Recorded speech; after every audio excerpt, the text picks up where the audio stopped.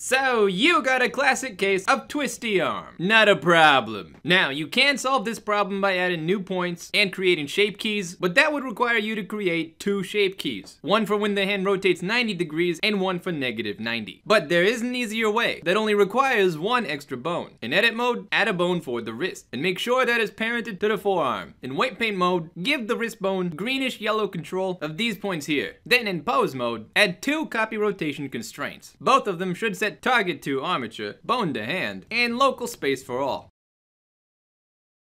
Make sure the top one only checks Y and is set to about 0.6. The bottom one should only check Z and should be about 0.37. If you twist the arm now, you'll find that most of the problem has been fixed, but you still have the issue of bending up and down looking weird. Now the easiest way to address this problem is with the driver that moves the points back and forth based on the hand's Z rotation. To do that, in pose mode, click the wrist and in the bone tab, right click the variable that controls moving left and right. In my case, it's Y location. Edit driver, object to armature, bone to hand, type to Z rotation, mode to quaternion, space to local, and type this. And you're done. Now you can see that the bone travels back and forth based on the hand Z rotation. Hope that helps. If you enjoyed this video, please don't forget to like, subscribe, and ring that bell. Hope you have a fantastic day, and I'll see you around.